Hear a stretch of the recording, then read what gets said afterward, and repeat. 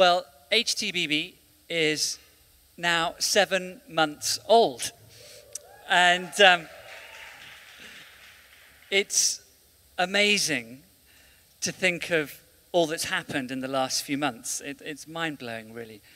And um, Sarah and I have been overwhelmed by the passion, the generosity, and, well, quite frankly, brilliance of you, the congregation. We cannot thank you enough for all that you've done so far. And the vision of HTBB is no small thing. Our vision is to play our part in the evangelization of the nations and the transformation of society. And such a vision can only become a reality if every single one of us, everyone is praying. And that's why in the middle of June we will launch our prayer room, which will be situated just round behind the cafe.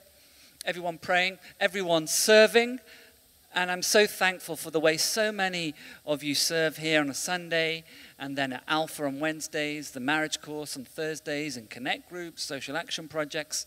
Thank you. So, everyone praying, everyone serving, but also the vision requires everyone giving. And that's why uh, today is our first gift day here at HTBB. And I'm really excited about today because today is not just an opportunity for fundraising, but also an opportunity for faith raising. You know, there are 2,350 verses in the Bible about money. That's twice as many verses as there are about faith and prayer combined. 15% of the recorded words of Jesus in the New Testament were on this topic. So this suggests that God thinks this is pretty important. But it's not because God is obsessed with money. It's because he's obsessed with generosity. John 3:16 says God so loved the world that he gave his one and only son. So I'd love us today uh, to look at some reasons why, five reasons why giving is an important thing for you and me to do. And our reading is taken from Philippians chapter 4, Philippians 4, verses 10 to 19. Let's read together. This is the Apostle Paul writing to the church in Philippi. I rejoice greatly in the Lord that at last you have renewed your concern for me. Indeed, you have been concerned, but you had no opportunity to show it. I'm not saying this because I'm in need, for I've learned to be content, whatever the circumstances. I know what it is to be in need, and I know what it is to have plenty. I've learned the secret of being content in any and every situation, whether well fed or hungry, whether living in plenty or in want. I can do everything through him who gives me strength. Yet it was good of you to share in my troubles. Moreover, as you Philippians know, in the early days of your acquaintance with the gospel, when I set out from Macedonia, not one church shared with me in the matter of giving and receiving, except you only. For even when I was in Thessalonica, you sent me aid again and again when I was in need. Not that I'm looking for a gift, but I am looking for what may be credited to your account. I have received full payment and even more. I am amply supplied now that I have received from Epaphroditus the gifts you sent. They are a fragrant offering, an acceptable sacrifice, pleasing to God. And my God will meet all your needs according to his glorious riches in Christ Jesus. The first reason why it's good to give is because giving is an act of worship. In response to the gifts that the Philippians have given, Paul says in verse 18 that they are a fragrant offering, pleasing to God. Giving is a practical way in which we can place God first in the priorities of our life. And if you like, that, that is a sort of definition of worship it's to place God first. And in the Old Testament, the, the people of God understood this.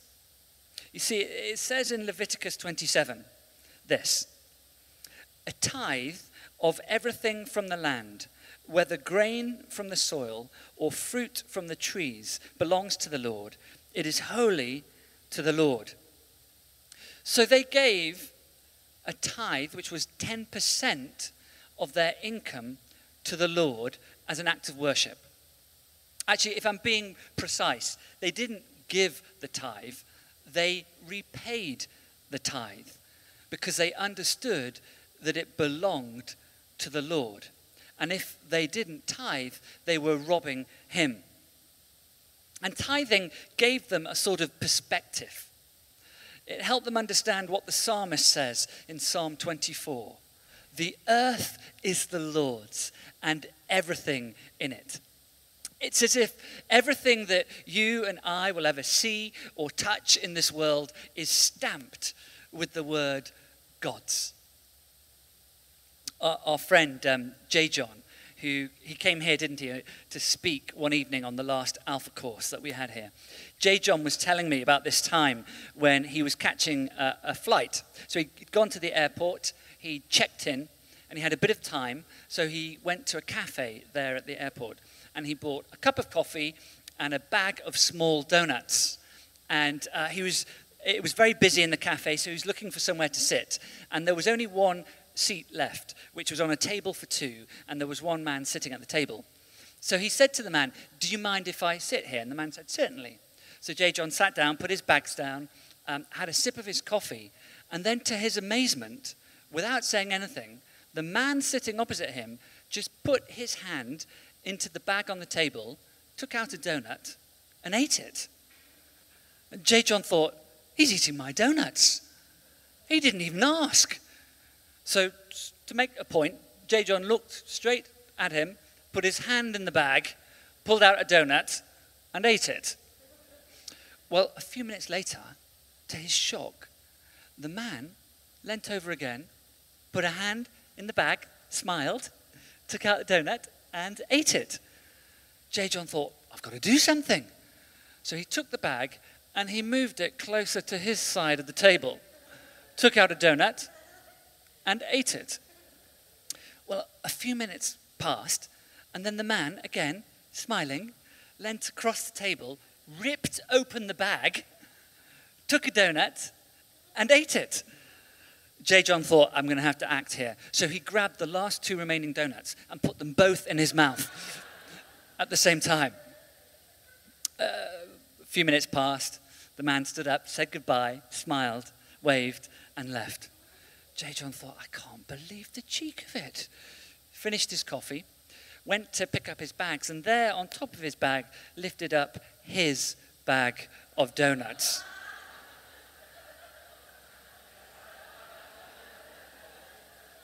the realization the man had not been taking his donuts. He'd been generously sharing them with J. John. So here's the point God owns all the donuts. And when we realize that God owns all the donuts, then sharing them with Him seems the obvious thing to do. This was the perspective they had. And the stated purpose of tithing in the Old Testament is clear. It says in Deuteronomy 14 uh, that tithing was that you may learn to revere the Lord your God always. And of course, because they gave 10%, to tithe required calculation they had to quite literally count their blessings. And this led to a heart of thankfulness and, in turn, a heart of worship. And the tithe came from, well, they gave from the first fruits of the land. It was not just to do about the quantity of what they gave, but also the quality. And then on top of the tithe, the people of Israel also gave what the Old Testament calls free will offerings. These were offerings that they gave as an act of worship and in response to need. Classic example Exodus chapter 36. Um, they want to build the sanctuary, there's a clear need. So the people start bringing free will offerings as an act of worship and in response to that need.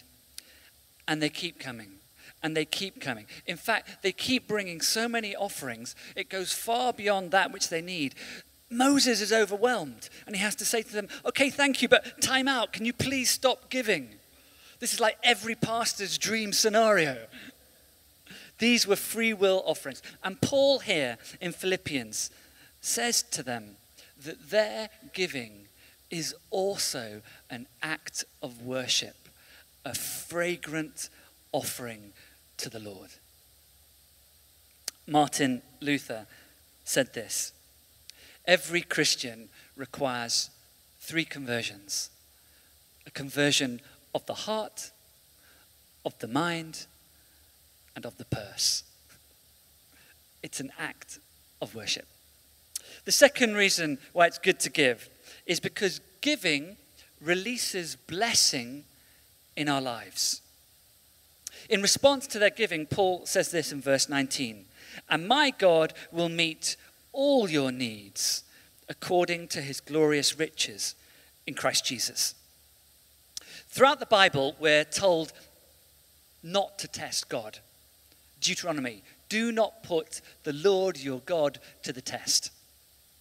But once, just once in Scripture, we are told to test God. It's in Malachi chapter 3, verse 10. It says this Bring the whole tithe into the storehouse, that there may be food in my house. Test me in this, says the Lord Almighty, and see if I will not throw open the floodgates of heaven and pour out so much blessing that you will not have enough room for it. We can't outgive God.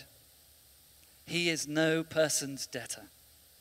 Jesus in Luke 6 says, Give and it will be given to you. For the measure you use, it will be measured to you. Giving releases blessing in our lives. Now, let's be clear that blessing may not be financial.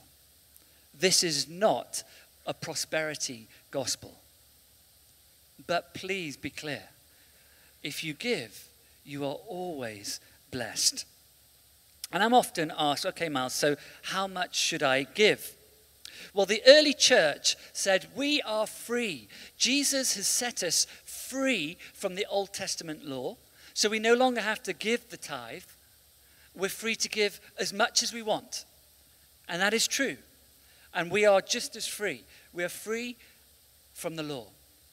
But in response to all that God had given them in Jesus, the early church gave more. Irenaeus, the early church father in the second century AD, said this The Jews were constrained to a regular payment of tithes. Christians who have liberty assign all their possessions to the Lord, bestowing freely not the lesser portions of their property, since they have the hope of greater things. My own personal view, for what it's worth, is that tithing, 10%, is a really helpful guideline. But tithing is not the finishing line of giving, it's the starting blocks. We certainly wouldn't want to give less than 10%. And I suppose it can be helpful to try and apply the principle of stretch to our giving. You know, uh, each year Sarah and I sort of want to, uh, under God, become a little bit better. Better parents, better friends, better givers. And each year we'll try and stretch our giving that little bit more. It's a bit like stretching a hamstring. You sort of stretch until it gets uh, a bit tight, might hurt a little, and the next time, you can stretch a bit more. It's the principle of stretch. But remember, each time we do give or stretch that bit more, it always releases blessing in our lives. That's the second reason why it's good to give. The third, and I'm going to spend the the most focus is on this. Giving is good because it releases blessing in other people's lives. Verse 14, Paul writes to the Philippians Yet it was good of you to share in my troubles. So Paul is writing this letter to them from prison. And actually, Paul is on death row. And in prison, he wouldn't be fed. In fact, he'd only eat if others supplied his need. And that's what the Philippians are doing. He says to them, Before you shared in God's grace with me, now you're sharing in my troubles. And throughout history, Christians have always blessed others through their giving. Rodney Stark, who is the um, teaches sociology at Princeton University, he studied and asked this question How was it that in just three centuries, Christianity could spread throughout the whole of the Greco Roman world without any recourse to violence or conflict? And his conclusion was this it's because they were so different, so distinctive, and in particular in this area of giving and blessing others. Emperor Julian, who was the he was a Roman emperor known for his vicious persecution of the Christians. He wrote this to his civil servants. If we are to purge our empire of Christianity, we have got to stimulate our people to give to the poor like the Christians do. For they look after their own poor and ours as well.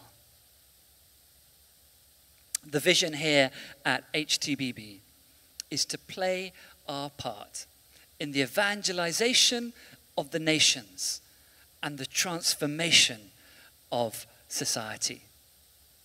And part of the way in which we do that, as you know, is through um, Alpha, enabling uh, this amazing tool, Alpha, to uh, other churches to be trained in how to run it, equipped, so that they can bless others too. And Alpha is a course designed primarily for those uh, outside of the church to come and ask uh, life's big questions and to explore the basics of the Christian faith. And what's so amazing is the Lord has really blessed this and blown it along by his Spirit.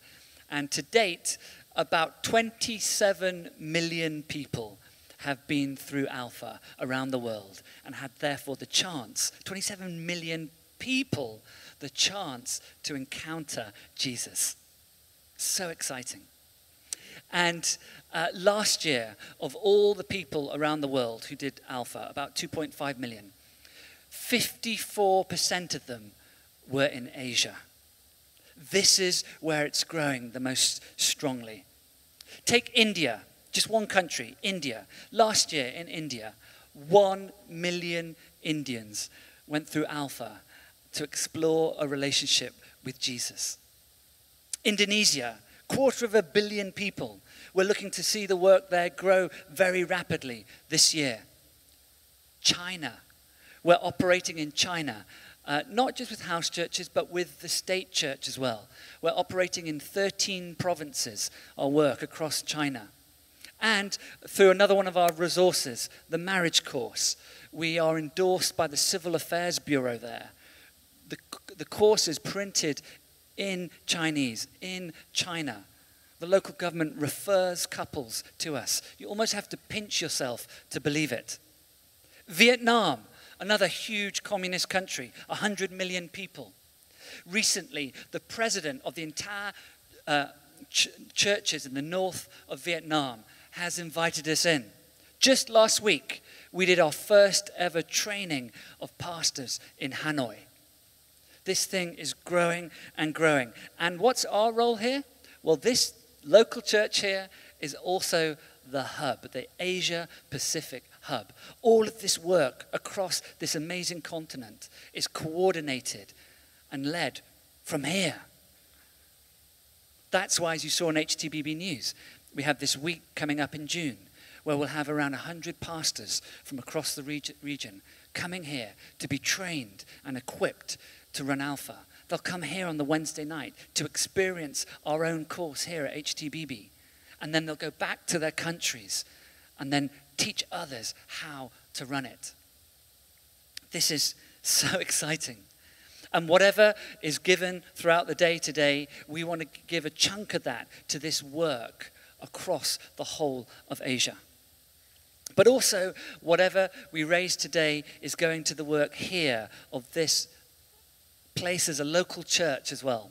So far, we've run two rounds of Alpha here. We've had about 200 people on each run. The next one starts on the 13th of May. And if you've never done Alpha before um, and would like to, I'd love to invite you to come along on that. And then also um, the marriage course. You know, this is so important. One divorce happens in Malaysia every 10 minutes and we've run one round of the marriage course here. It's not just for struggling marriages, but those that are good as well to help make them even stronger. And we had 15 couples on our first round, and we start again on the 4th of June. Again, you're, you're invited to come and attend. And then social action. We're just beginning to, well, it looks like we're going to partner uh, with, with, this project just down the road. Um, to begin a, a community learning center for those who struggle to access uh, education. Things are cropping up for us to invest in. And I think there are a couple of myths, as it were, about HTBB. One is that we're a rich church. Well, we don't hold any reserves. Our reserves are in your pockets, the pockets of the congregation. And in that sense, we're completely, well, we are rich in that sense. Um, but you could stop this whole vision today if you didn't give. We are completely reliant on you, and therefore we're completely reliant on God. And that's the way we like it. And the good thing is that we are generously given this amazing space rent free. And that means that the vast majority of everything that is given goes into frontline ministry. To date, about 70% of our expenditure has gone into mission and evangelism. The second thing that sometimes people think is that we get money from the sale of alpha resources. That's not true. Actually, the resources, um, yeah, we want, we, we, we want to give this thing away. And the resources we sell either at cost price or below. And increasingly, we just give it away by making it free, downloadable via alpha.org. And then the other thing sometimes people say to me is, Miles, this vision is so big, my small contribution can't make a difference. Well, it's true, the vision is big. But however small your contribution, it makes a huge difference. Every cent given can change lives. Today, each one of us can become a stakeholder in transforming the world. HTBB can become like a, a blessing machine. We're blessed so that we can be a blessing to countless others. That's the third reason why it's good to give. The fourth reason is because giving is the best long term investment you can make. Paul says in verse 15 that out of all the churches he's planted, only one supported him consistently in his need. That was the Philippians. And the way uh, society sort of worked at that time was um, let's say I needed some money. You would lend me some money, and I would be indebted to you. And then, when I could, I would then pay the money back to you plus a little bit more so that you were now indebted to me. And then eventually you would pay it back plus a little bit more. And that's the way it went. It's a bit like if somebody, say, has you round to their house for dinner or they take you out for dinner. You know, you always feel a little bit guilty till you've had them back and given them a slightly better meal. That's the way it worked. And now that the Philippians had supplied Paul's need, what does he say to them? I now owe you big time? No. He says this, verse 17 I am looking for what may be credited to your account. What's he saying? Well, he's saying, now that you've given to me, God owes you. Because when you gave to me, you gave to him. That's why later on he says, Now my God will supply all of your needs. In other words, Paul understood that by giving, the Philippians were storing up treasure in heaven. And this is what Jesus had said, hadn't he, on the Sermon on the Mount, Matthew 6. Jesus says, Don't store up your treasure on earth where rust and moth can destroy or thieves can steal. Rather, store up your treasure in heaven where it's safe. Jesus wasn't saying it's wrong to invest, he was saying it's right to invest. Just invest it in the right place. In other words, you can't take your treasure with you but you can send it on ahead of you. And Jesus says, Where your treasure is, there your heart will be also. I don't know, about you, but I think sometimes we're, we, we think of it the other way around. We think, okay, where's my heart at? What am I passionate about? Okay, I'll give to that. But Jesus says, try it the other way around. In other words, today, if you want to get passionate about and committed to HTBB and the vision, then invest in it, and your heart will follow your investment. Like any good investor, you follow your investment. Martin Luther put it this way, again, brilliantly. He said, I have held many things in my hands, and I've lost them all. But whatever I have placed in God's hands, that I still possess. Giving is a good thing to do because it's an act of worship, it releases blessing in our lives, it releases blessing in other people's lives. It's the best long term investment we can make. And fifthly and finally, giving is a good thing to do because it sets you free. It sets you free. And I have to remind myself of this. I think I'm somebody who naturally worries about money. In the parable of the sower, Jesus said that some of the plants that grow, thorns come and choke the life out of the plant. And he explains how the thorns represents the worries and deceitfulness of wealth.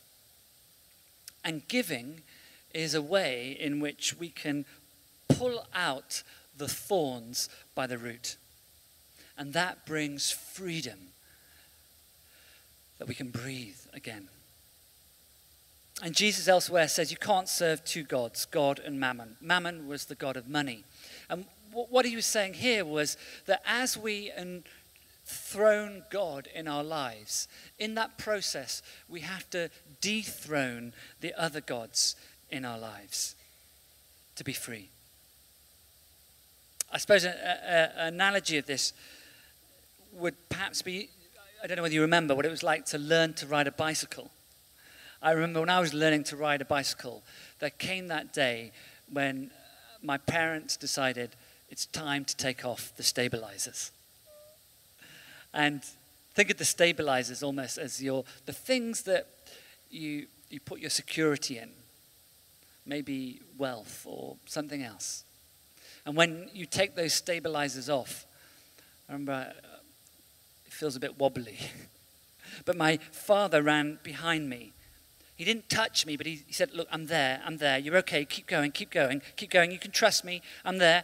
And I wobbled a bit more, but then eventually once you master it, there's this new freedom and adventure to riding a bike.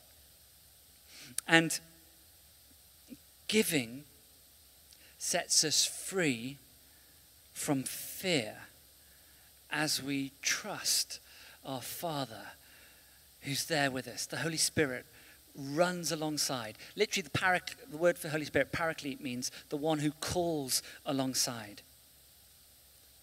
We, we trust our Father.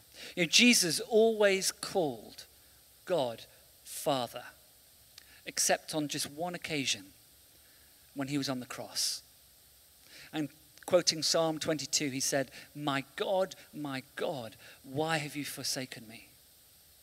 It was a cry of pain, the pain of separation from his Father in heaven.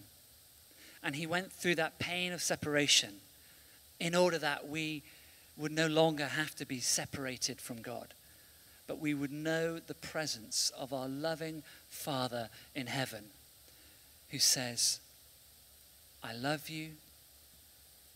Do not fear. You can trust me.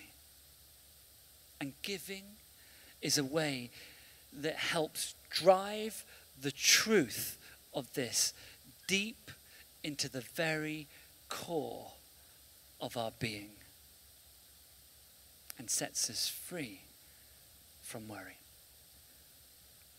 Amen. So, amen. What we're going to do now is hopefully there was an, uh, an envelope on your chair when you came in. And um, I have to say, if you're a guest here today, or it's your first time uh, you've ever been here, then please do not feel pressurized in any way to give. If you want to, fantastic, but don't feel pressurized. Uh, and in, if it is your first time, hopefully it's been a, a helpful Sunday to come to. We don't do a gift day every day, hopefully just once a year. Um, but hopefully you've had a chance to hear a bit about the vision. And on the back, it says the ways in which we can give. So you can give either by cash, or if you want to make out a check, it says there, make it out to Holy Trinity uh, Bukit Bintang, or you can do uh, an online transfer. And the way that Sarah and I choose to do our giving is through a standing order. So we, we set it up with the bank. So each week we, we know what's being, each month rather, we know what's being uh, given. And it also helps us as a church because then we can plan because we know roughly what's guaranteed income each month. And if you want to give by standing order, you just put in your name, uh, email, or telephone, and then we can um, contact you if you want to help. Um, you have all the details to set it up. But you've got our, you've got our bank details there if you want to set it up. Um, or if you already give regularly, you might want to just give uh, an additional offering uh, today. So, what we're going to do is just take a moment now to pray and just ask the Lord, Lord, what would you like me to give? And then after that, we'll have a time of giving. So let's just spend a, a few moments now.